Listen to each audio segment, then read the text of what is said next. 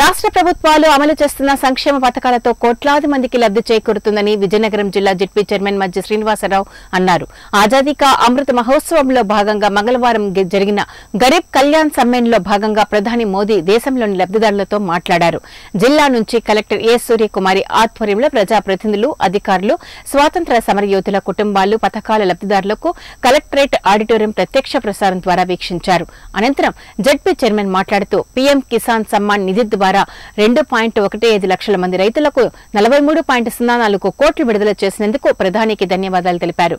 కార్యక్రమంలో ముందుగా వివిధ పథకాలు లబ్ధిదారుల కామేశ్వరరావు షేక్ ఆయేషా రజీనా బెల్లానా రోజా తదితరులు ఇందులో పాల్గొన్నారు. విడుదల చేసినందుకు ప్రధానికి ధన్యవాదాలు తెలియజేశారు. కార్యక్రమంలో ముందుగా వివిధ పథకాల లబ్ధిదారులు కామేశ్వరరావు షేక్ ఆయేషా రజీనా బెల్లానా రోజా డి శ్రీనివాస్ ఎన్ నాగరాజు నూర్జహాన్ రామానాయుడు తదితరులు ప్రధానితో మాట్లాడారు.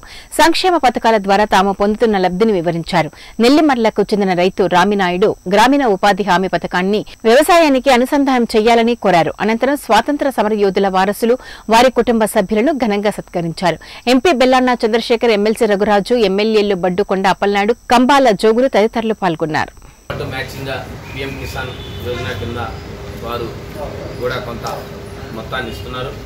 దాన్ని దీన్ని కలిపి మనం ఎప్పటికప్పుడు ప్రతి సంవత్సరం కూడా ప్రతి విడతల వారీగా రైతులకి వారి రైతులు వారి తాలూకా ఏదైతే వ్యవసాయం సాగు చేసుకోవడానికి పెట్టుబడిగా ఏదైతే రాష్ట్ర ప్రభుత్వం ఆలోచన చేసిందో దానికి అనుగుణంగా దాన్ని మ్యాచ్ చేస్తూ అనుసంధానం చేస్తూ మరి కేంద్ర ప్రభుత్వం కూడా తీసుకోవడం చాలా సంతోషకరమైన విషయం. మరి దానికి అనుగుణంగానే ఈరోజు మరి గౌరవ ప్రధానమంత్రి గారు దేశం మొత్తం మీద ఇది ఈ డబ్బును రిలీజ్ చేశారు.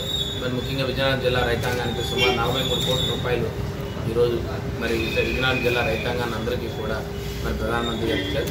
మరి విజయనగరం జిల్లా రైతాంగం తరఫున గౌరవ ప్రధానమంత్రి గారికి ప్రత్యేకంగా కృతజ్ఞత తెలుపుకుంటూ ఇంత మంచి కార్యక్రమం వారు ఏదైతే కేంద్ర ప్రభుత్వం పెట్టిన ప్రవేశపెట్టిన పథకాలు ఉన్నాయి.